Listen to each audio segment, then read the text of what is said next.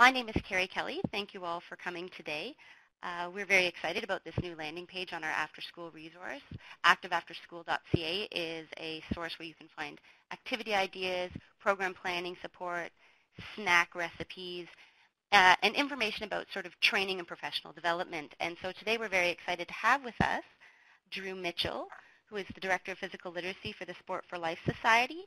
Uh, and he works as a consultant focused on the development of physical literacy at the community level and promoting the Canadian Sport for Life movement.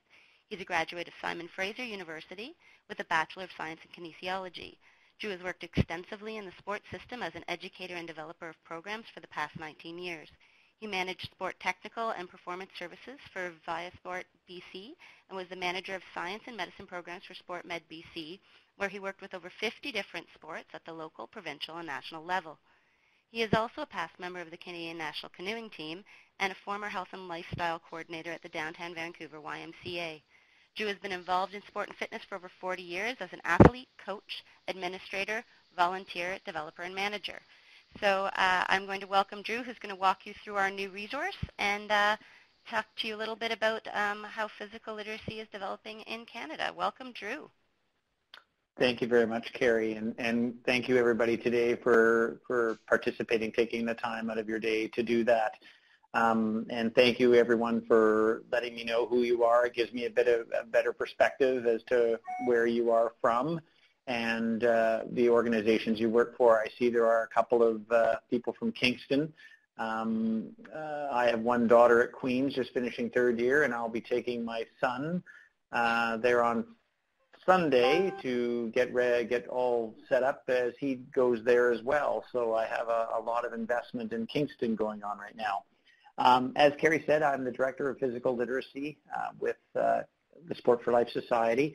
I'm based just outside of Vancouver in a place called Port Moody, British Columbia.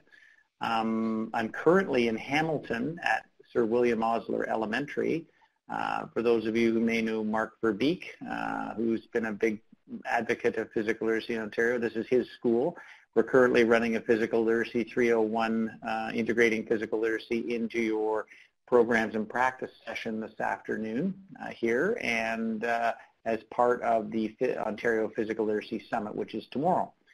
So again, thank you everyone for, for coming today. Um, what we want to do is talk a little bit about this new resource, which we're really excited about, and working in partnership with the Leisure Information Network, Carrie and her team, and, uh, and talk a little bit more about how we can um, increase the awareness and the knowledge of physical literacy and also hopefully make resources a little bit easier for people to access. So the purpose of the, of the project itself was to increase physical literacy and support the increase of physical literacy awareness and knowledge. Um, we've probably never had at any one given time more information available about physical literacy than we do today. But the internet is a wide and woolly, wild and woolly place sometimes, and it is hard to understand where some of the resources are. Um, are these resources, um, you know, are they credible? Because um, not, because we need to also remember that not everything on the internet is credible. Um, and uh, and how can I best start to use some of these resources for the types of things that you do in your communities? So uh, we were very fortunate to, to receive some support from the Ontario Ministry of Tourism, Culture and Sport. And I, I do have to give a big shout out to uh, the, the, uh, the ministry. Um, they have been a great supporter of physical literacy in the province of Ontario. Uh, Ontario in many ways has made some very strategic investments around this particular area um, and starts to really um, make a difference uh, whether it's at the community level, through their uh, Ontario Sport and Recreation Community Funds, um, through the Trillium Foundation, and also through Healthy Kids Community Challenge. So there's, there's a number of very interesting projects that some of you who are from Ontario may already be working on right now or connected to or even looking forward to applying for going forward. So there's a, a number of very good things that are happening in Ontario. Every, every province has, has their thing going on, which is great. Um, I just uh, wanted to particularly uh, identify the Ministry of Tourism, Culture and Sport in Ontario. Um, been a great partnership working with Carrie and the Leisure Information Network, a uh, great facilitator of information uh, and, and, knowledge awareness. Uh, so it's been it's been a great project for us uh, to to start to get to know their team a little bit more and also start to gather, collate, uh, organize some of these resources a little bit better. Um, it's you know I think in with every day there's more and more information coming up online and people are wanting to know things. So whether you work in after-school care, whether you work in early childhood education, whether you work in recreation or, or in one of the health units uh, or in the health authorities, um, there's lots, of, or in education, there's lots of places uh, that you can find information. So as Carrie said, uh, you know, it is part of the after-school partnership. This is where the particular uh, resource is located, the Physical Literacy Learning Lab. Um, previous to this, High Five has done a learning lab as well. For those of you that are aware of High Five, it's a very good program focused on quality assurance and, and creating positive, positive learning environments for children focused, uh, people who work with children aged 6 to 12. So it's a, it's a great uh, it's a great opportunity for people to get engaged around there as well. So the Learning Lab has, has been a, an interesting experience for us going forward. Um, it's, uh, there's a couple of interact, uh, interactive but video-based pieces. Uh, we start to really drill down into what is physical literacy, and, and a lot of people, you know, they focus on, um, you know, sometimes it seems a little wordy, the definition, which is off here to the left. Um, the definition currently is the definition. We're trying to be consistent with that. We're trying to use the same language all the time. And we're trying to really um, keep be as consistent as possible with that. Um, we have to remember that one of the great examples in Canada is literacy. Literacy has been around in Canada for over 100 years, probably 110, 115 years. Um, it's been very successful at making our population more literate. Um, we're one of the most physically literate countries in the world. Still work to be done in getting more and more people um, with a higher level of literacy, but they've been a great example uh, as to what, how best to, to run a process. We also know that literacy has a number of definitions still after 110 years. So I think the key thing is, is that there are a couple different definitions out there. We want to focus on this one as, as being the primary one. They all have the same kind of key tenets. Um, I think it's important to remember that it's more than just the physical skills. Um, it is creating that confidence and that motivation along with the knowledge and understanding of why I'm doing it, why is it important. Um, that is the whole package which makes up physical literacy. So I think you know, FMS and fundamental movement skills is an important part of, of this whole process. Um, tends to be the thing we put most of our, our currency behind and most of our time and energy behind, but it, it really is more than that. So how do we make how do we make the activities and the games and the practices that we do with children, youth, and adults, how do we make them more physical literacy, physical literacy developing? How do we make them more confidence building? How do we make people motivated to come out and do them um, more often? So those, those are the things that I, I want to emphasize from, from the definition. Uh, we've focused on four main areas in the collections, uh, an assess me, show me, teach me, activate me kind of approach. Um, we've gone this way because we think it's important that, that these are these are steps that people go through. A lot of people want to jump right to activate me. so um, maybe there's some other stuff we should you know, try and do before that.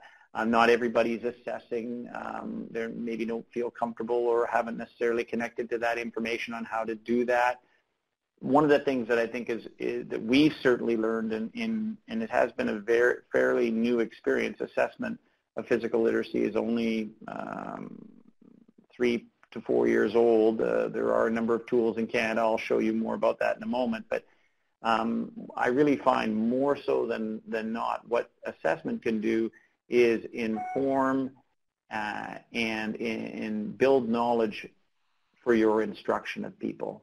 And if it, at the very least it does that, it lets you know what Johnny or Janie is, is able to do, what they're currently learning and whatever they're doing. Uh, I think it, it really can help you in forming better programming for them, better teaching for them, better learning for them. So it is a, it is a valuable component here. Uh, three other subsections we have are, we obviously focus on the physical, physical literacy assessment tools, Um, we've just started to a physical literacy research section. It is relatively new because there isn't a ton of direct research on physical literacy, and we're just currently stocking that right now. Uh, and then, of course, there's Canada's Physical Literacy Consensus Statement, which was established last year by a national consortium that came together to give a bit of an anchor to what physical literacy is and reinforce what physical literacy is.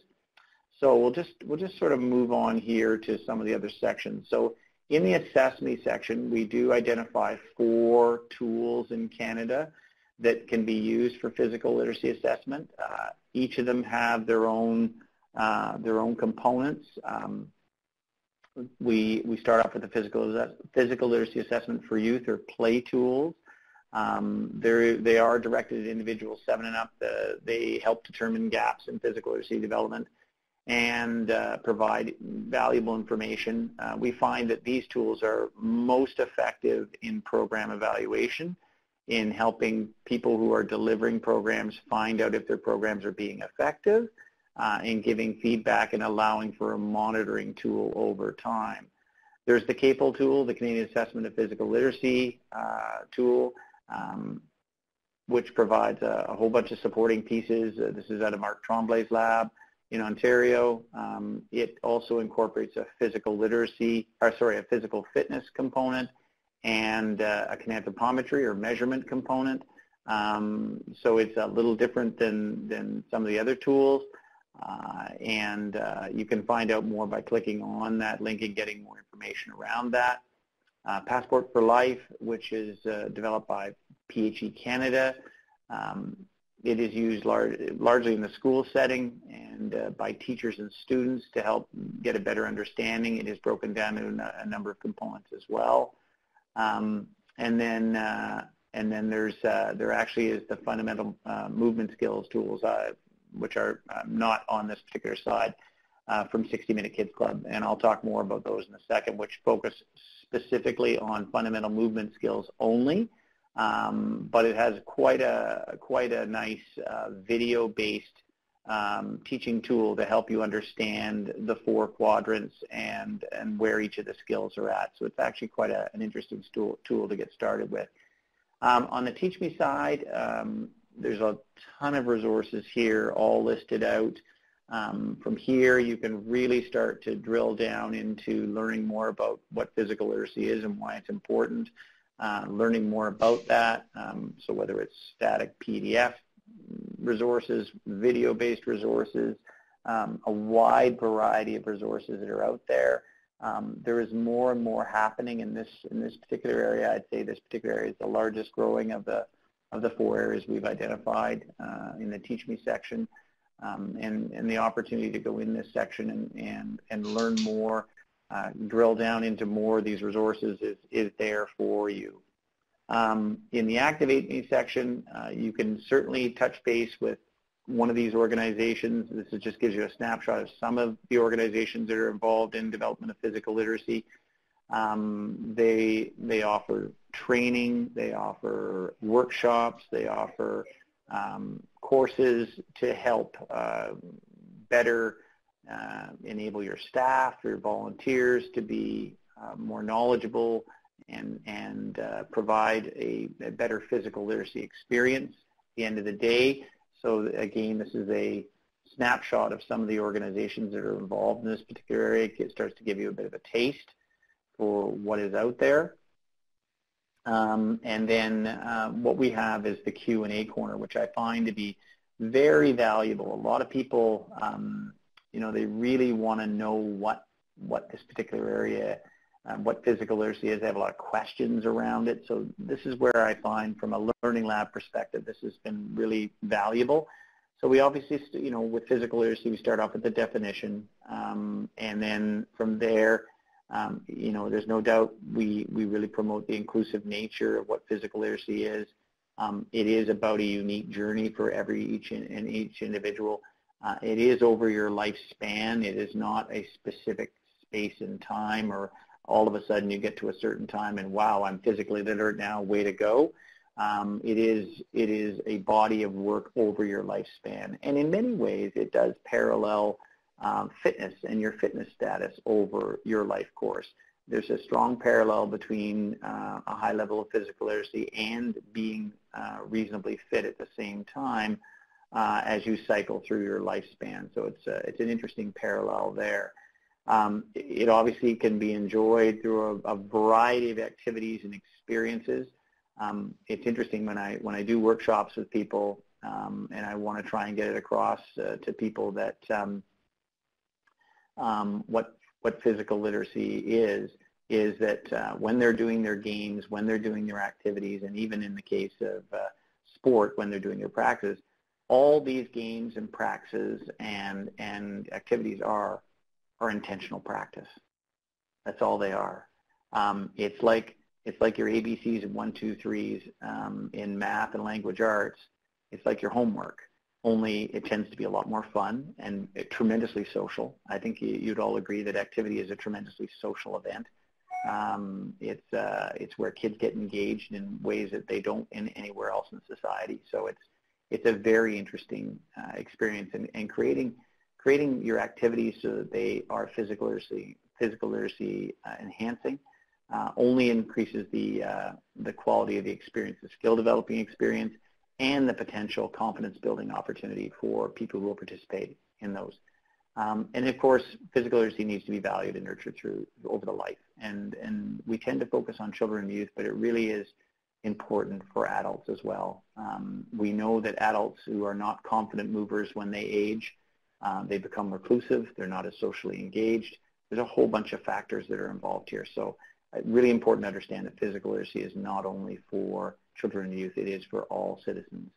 Um, what are the components? Uh, again, we've focused in earlier on the definition. It is physical competence, confidence, motivation, knowledge, and understanding. Um, those are those are key tenets, uh, and they are the the foundation to the definition. Um, what kind of environment supports literacy and physical literacy? Well, really, we don't teach physical literacy. What we do is we create the environment and the opportunity for physical literacy to be developed. Um, that's really in all the work that we do. So it's, it's like you don't teach literacy, you teach people how to read. And you don't teach, you don't teach uh, numeracy, you teach people how to do mathematical equations and various components like that.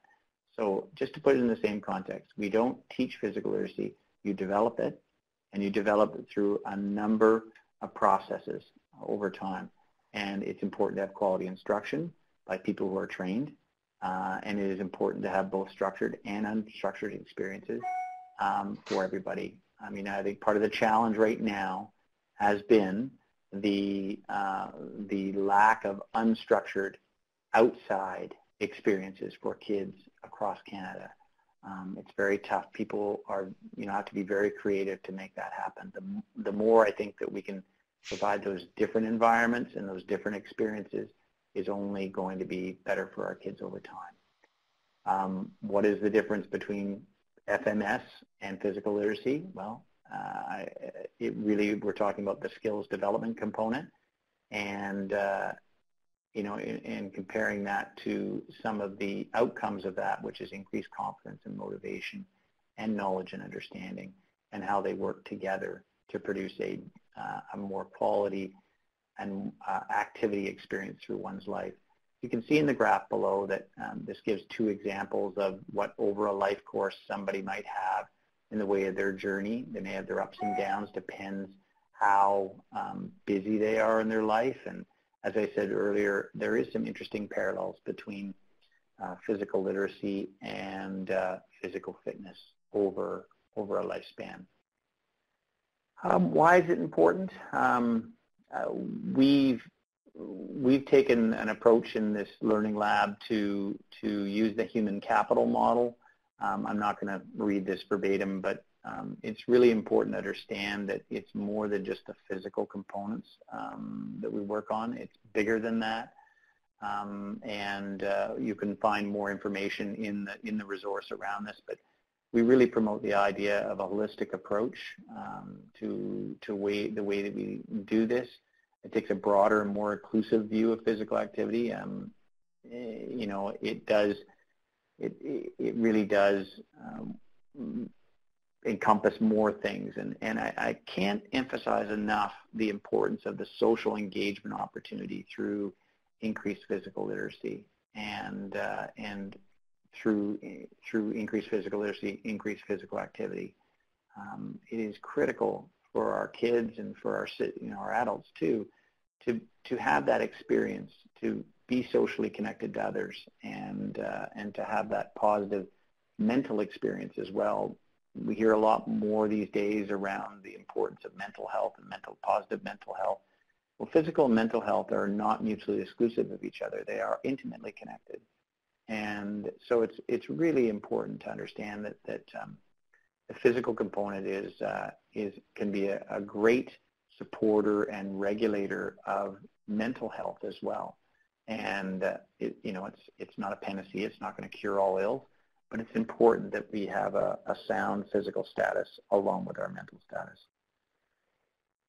Um, how do you develop it? Um, it it takes a while. It takes time. It's a it's a it's a it's a journey, right? Um, but if you think about it, um, for some of you that are maybe a little bit older, you can remember back to when when we were all young. We did a lot of this organically, um, outside, running outside the house, uh, hooking up with our friends climbing trees, making up games, um, tearing around the neighborhood, uh, walking to school, and doing lots of different things. In those two sets of activities, lots of stuff was developed, lots of decisions were made, and lots of independence was allowed. Today, um, a lot of that has been sort of gleaned away in our urban centers, and so kids don't get that so much anymore. So when they are involved in activity, the it's almost imperative that there is a skill developing component um, that is engaged in that because if they don't have that, then they really are in a situation where they are not developing skills intentionally. And where physical activity can sometimes be dumbed down, so to speak, is that when we just let kids run around and there's not an intentionality, and I'm not saying we don't give them unstructured time, um, I think we can create environments that are structured in nature but have an unstructured component to them and allow kids to still be intentional in, they don't even know they're doing it, in creating skills. Um, just running around, blowing off steam is important, but we also need to be thinking about the skill building component as well. And having well-trained adults um, who are caring and accountable uh, is a critical component.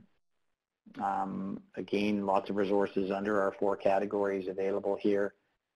Um, and then a full list of organizations um, uh, through the uh, through the show me and teach me sections. There's lots of different uh, components there um, to help you along. And uh, again, we talked a little bit about assessment. Uh, there is there are components in there that uh, lots of tools that are out there and more for you to find. Um, I think it's really important when you know I see all of, all the different organizations you're all with. How can you take what you do in your community and connect it to what others are doing in your community intentionally? And I think that that's a great opportunity through physical literacy. There tends to be a sort of almost a collegial kind of approach that can that can be nurtured so I see Gary Shelton's on the call here. Uh, Gary's with the Edmonton Sport Council, and Edmonton's done some amazing work around their play groups um, to try and connect school, sport, uh, education, or sorry, um, health and recreation to actually function better and be more communicative, um, be intentional in, in that connectivity. Um, and how can we actually create activities that are interconnected. So I'm going to give you one scenario here. So say in an elementary school, say in a grade two or grade three class, for three or four weeks we're in the phys ed program in the school um, for that particular grade. Um, they're going to do a specific uh, sport-based uh, activity that will be built around a number of activities and games that reinforce or develop some of the skills that are involved in that sport.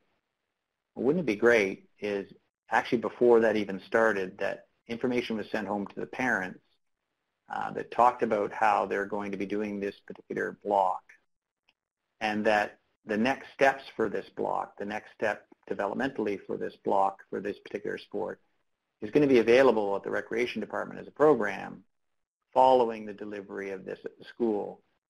And then from the recreation department, um, there's an intentionality around uh, once, you know, for those kids that uh, have created curiosity or an interest around that sport activity, and go to the rec center and take that next step. And from there, if they're, you know, still keen and want to do even more, they can step into the sport club setting for the next step after that. Where we're very intentional about connecting the dots and connecting the activity activity potential of kids to be able to be engaged.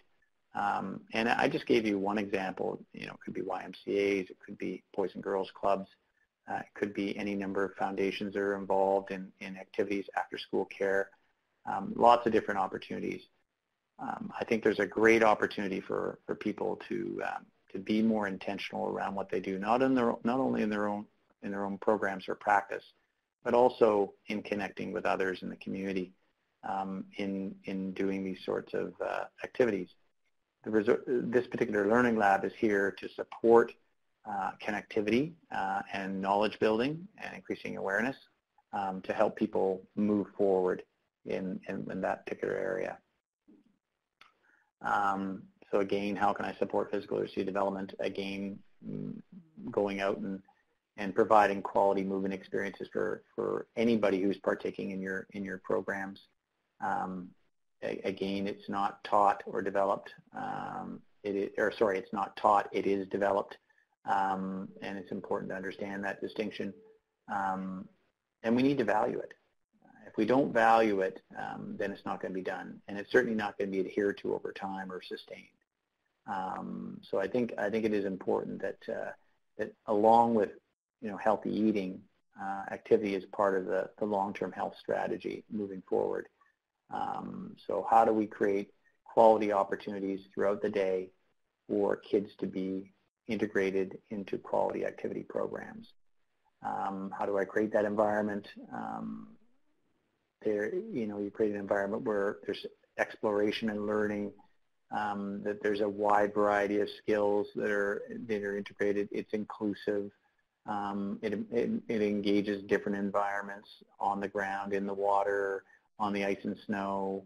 Um, so it, it, it's it's having those different experiences that uh, that are available, and and we need to understand that in our communities, you may be you may be in a school setting, you may be in a recreation setting, or a sports setting.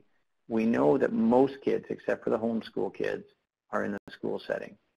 We know that for kids in recreation programs or sport programs, they have to show up for those. Not everybody's there. So how can we connect those programs to increase the, increase the likelihood that quality activity experiences are going to be more available for more people in the community. So that's the opportunity that exists in your communities. So again, talked a little bit earlier um, about research. Um, we are going to be adding more and more research. A couple papers have come out this summer there's been an, a couple papers out of Mark Tremblay's lab in Ontario uh, around physical literacy.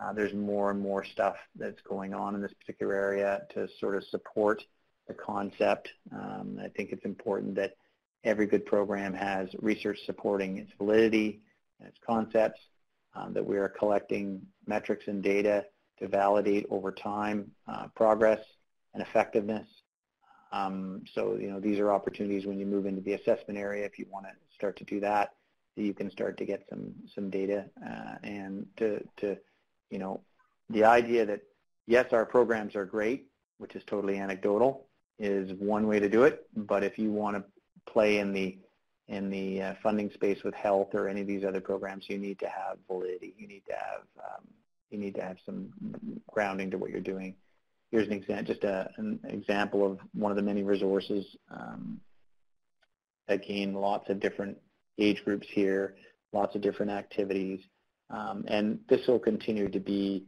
um, evolved over time. This resource will continue to be uh, developed and built up, and uh, we hope to continue to reinforce it over time. And then one of the things I wanted to emphasize here too and uh, I think uh, the link um, is um, is uh, is at the bottom of the presenter notes. You can see that uh, creating the quality physical literacy experience. This is a resource that was created by Sport for Life, uh, supported by the Ministry of Tourism, Culture and Sport last year. It's a video-based resource. Um, Want to strongly emphasize this. This is really getting down to some of the how-tos. Um, this is where a lot of people get stuck. Um, they can get maybe the what and, and the why, but how, you know, how do I actually make it happen?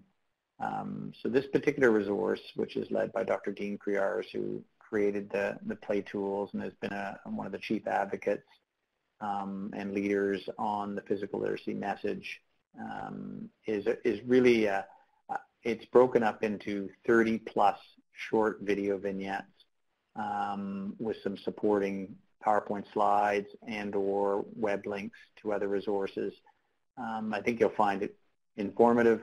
Um, I think it'll help inform you a little bit more around how you can make some of your activities and games um, more of a quality physical literacy experience. Because really at the end of the day, what we want to be able to have is people who are out there providing instruction or education or guidance or coaching, um, they can take any activity and they can make it a better physical literacy experience. That's where we want to get from a training and knowledge perspective is people feeling confident that they can take any activity and they can make it a better activity for people.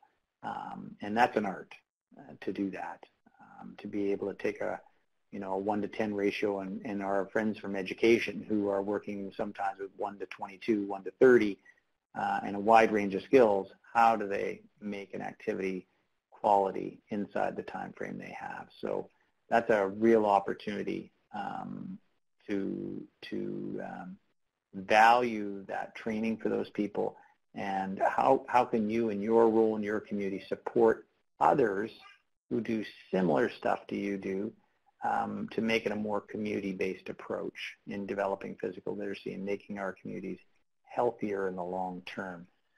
So just want to emphasize that as one of the resources that's there. It's a little shout out to that resource. Um, and like I say, interestingly enough, we're doing a workshop on that right now, about 50 feet away from me with Dr. Dean Kriellaars here in Hamilton. So um, yeah, so just wanted to, uh, wanted to let you know about that.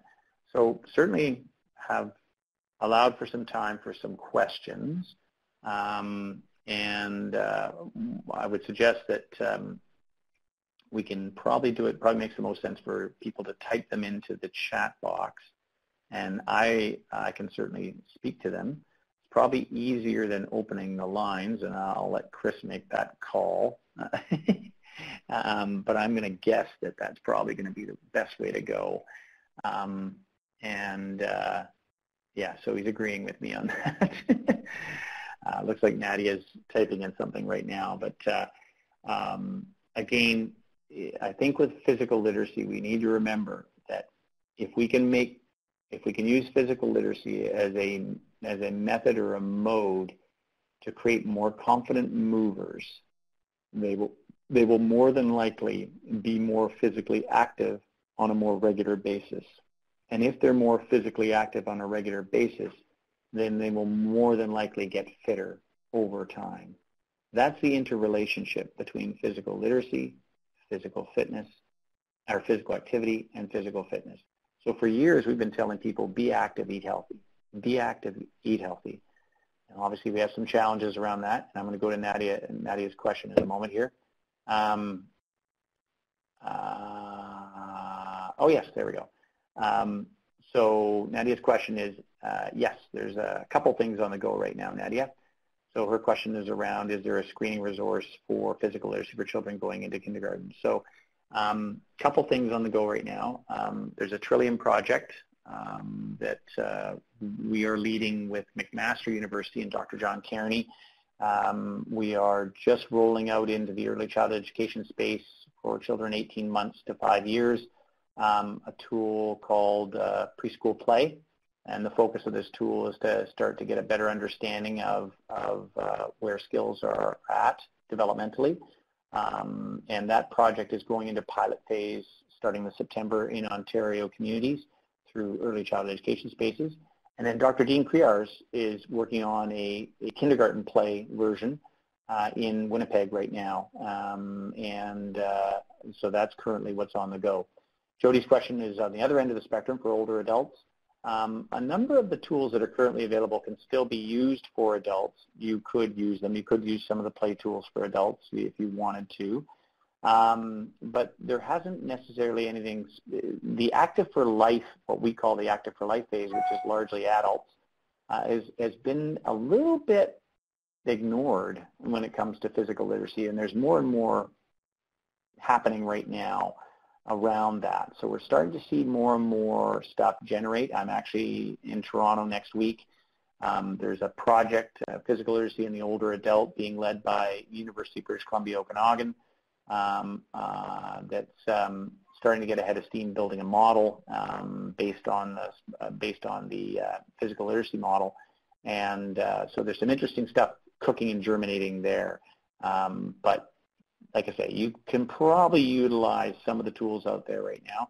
I would also suggest, Jody, if you want to go look at the Durable by Design um, resource, which is on the Sport for Life website, it's a new resource for physical literacy for older adults. Um, it doesn't specifically have a, an evaluation component in it, but it has a, a lot of good information around uh, engaging older adults around physical literacy, so it's there. Um, the more hard to reach populations, yeah, newcomers, low-income families, parents. Um, it is it is a challenge, but one of the things that I think that we potentially can use to get people more engaged is the social component. People will come together for social gatherings. Um, they will come to be engaged, and, and can we use that experience, that social opportunity, um, to create physical skill building opportunities. Um, there are more programs that are that are coming into place for new Canadians, for refugees, um, low-income families. It's starting to happen. Most recreation departments, or many recreation departments, uh, don't turn away, and YMCA's do not turn away people uh, based on their ability to pay. Um, so there is there are opportunities out there. Um, and I would suggest that if we could also reinforce what's going on in schools, then that will also help capture some of these populations that typically are at least being caught in the school component. So can we have some foundational pieces in our in our communities to reinforce that? Uh, there isn't anything in the way of a dedicated online forum, um, but what we're finding is we were we are probably going to start to do more regular webinars um, to help have that and, and I think evolve those webinars a little bit more. There is, I will bring to people's attention, there's an interesting thing going on in Canada right now. Started last November. There's a, a national physical literacy initiative to create a national strategy or an approach uh, to physical literacy. And what that's done is that spawned a number of provincial initiatives as well. So Sport for Life and the Coaching Association of Canada have taken a lead on the national component.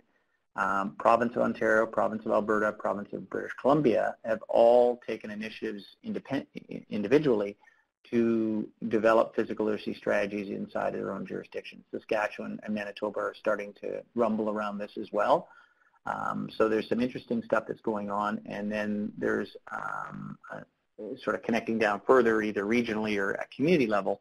There's a number of discussions that are happening at the community level. Um, so whether it's uh, communities that are brought together in Ontario to have discussion, um, but there's nothing formal and dedicated. But I think Chris brings up a good point is um, maybe that's a bit of a vacuum, and maybe that's an opportunity to be able to, to do some stuff like that. Um, so certainly um, if there's a will, uh, if there's a sorry, if there's a need and a desire for that conversation to happen more regularly, then I think uh, I think you know I could certainly see um, Sport for Life providing some of that support. I think there's a number of other organizations out there. Part of what we're trying to do with this national initiative is bring organizations together to do stuff like this a little bit more often. Um, but it is off the corner of everybody's desk. Um, uh, yeah, so, so Joey, as an example, if you had a regional group in Waterloo, the Waterloo region, uh, if you wanted to bring a group together, I'd be happy to organize a webinar um, and have that discussion in your particular area, um, we're actually, I'm actually delivering a physical literacy assessment in the Waterloo region November 7th for the YMCA. I'll actually be in the Waterloo area. Um, but the idea is if you wanted to bring that together, if you want to organize the people, um, I would be happy to facilitate uh, a webinar around that um, to help have people have some discussion and uh, and uh, you can contact me there um, if you want to have a further discussion around that. Uh, the larger cities, yes, and we have there are numerous ones. Um, and these programs are free of charge for hard to reach people. Yeah, thank you for that, Greg. That's excellent. Um, the uh, as an example, Hamilton has been quite quite well connected uh, amongst the sectors. Uh, it's getting better. Um, and we had hoped that the, you know, again, with the creation of this learning lab, uh, this will only help with people having more access. Um, and again, we've created a forum here today for Greg and Nikki to share, which is awesome. And, and, and I'd strongly recommend people who are, uh, you, you know, in these dialogues or even coming to some of these presentations, is ask questions like that and how even getting connected and finding out what each other's doing um, taking a little bit of time to be intentional around that can be really um, can be really valuable. Um, oh, okay. Um, so Sandy, thank you, Sandy. Sandy's from my province in British Columbia, uh, in the Kootenays, and uh, Sandy and I have known each other for a long time. Um, but um, uh, so we are currently uh, we are currently working, just starting actually, through an Ontario Sport and Recreation Community Fund with Brock University and McMaster, um, the development of adapted play, which is going to focus on um, populations with. Uh, um, we're going to focus on two sets of populations. One is uh, persons who use a wheelchair, and the other is persons with mild cerebral palsy, Down syndrome, and autism. Um, so uh, we're just embarking on that project right now. It's in its early days, um, and uh, uh, we hope to see that in some of the school settings. Um, and uh, we can, you and I can have a further conversation around that offline. So there, are, there is more impetus to create um, different assessment tools for different populations as we go along. Um, and then we've got Alex from our, our office yeah, absolutely. And uh, she brings up a really good point. If, if you come across any resources, please uh, push it this way, and we'll make sure um, we can have uh, we can have a further discussion and share those resources with others. So if there's no other questions, um, I'd like to thank you again for participating today. I want to thank Lynn for hosting Leisure Information Network and Chris and Carrie in particular. And uh, I want to uh, have you all think, you know, think today, what is one thing, either from something you saw today or something you, you know, even if you're perusing through the resource, um, what is one thing that you will do different tomorrow to create a better or higher quality physical literacy experience in the work that you do? That's my challenge for you to take away today is um, what's one call to action that you can take doesn't have to be big. You know, you're not going to cure cancer tomorrow, but um, I think uh, I think it'd be great if we could uh, have people move to an action step. Some of the how-to pieces. Thank you again for your time, and uh, enjoy the rest of the nice weather um, that we have for this summer. Take care. Bye bye Yes, well, thank you so much, Drew, and thanks everybody. I'm sure we are all uh, we we understand how valuable your time is, so we really appreciate you taking some time to spend with us. Just a reminder, today's session was recorded, and uh, in the next little while, we will be sending that link to you uh, along with the survey to get some feedback on our session today. Uh, but then that's a, a link you can feel free to re refer to and certainly share with colleagues if you think they'd be interested. Um, we have a newsletter related to after school um, that via active uh, afterschool.ca you can um, sign up to uh, sign up for to find out more information about things we're doing. That's all uh, available for sign up and things through the site. Um, But again, just thank you all for your time, and you will be hearing from me shortly with uh, a link to today's session for reference. Thanks again. Carrie, if I could just- you'll have a Carrie? Oh, absolutely. Thank you, Karen. Yeah, just one quick thing. Um, as part of a Trillium project that we're, Sport for Life is doing in Ontario, there is an opportunity between now and mid-December for us to deliver a uh, physical literacy 301, uh, which is integrating physical uh, physical literacy into your programs, and it's a four-hour workshop, um, free of charge. There's a uh, we have about four or five of those available and uh, we would love to, if you're with Recre- a recreation department in Ontario, we'd love to get engaged with you. I've, I've got a number of them already lined up, but uh, there's a few more spots left. So if there is an interest, um, I'm going to put my email up there again, um, and you can contact me directly. Um, oops, that's not right. I didn't put for life. Ah, damn. Let's try that again. Uh, and um, we would be happy to, I'd happy to talk to you about that and see if we can organize something in your community, okay? Um, yeah, so Jody and I can have this further conversation. So contact me and we'll have a further conversation. Thank you again, Carrie and Chris. Take care. Bye-bye. All right. Goodbye, everyone.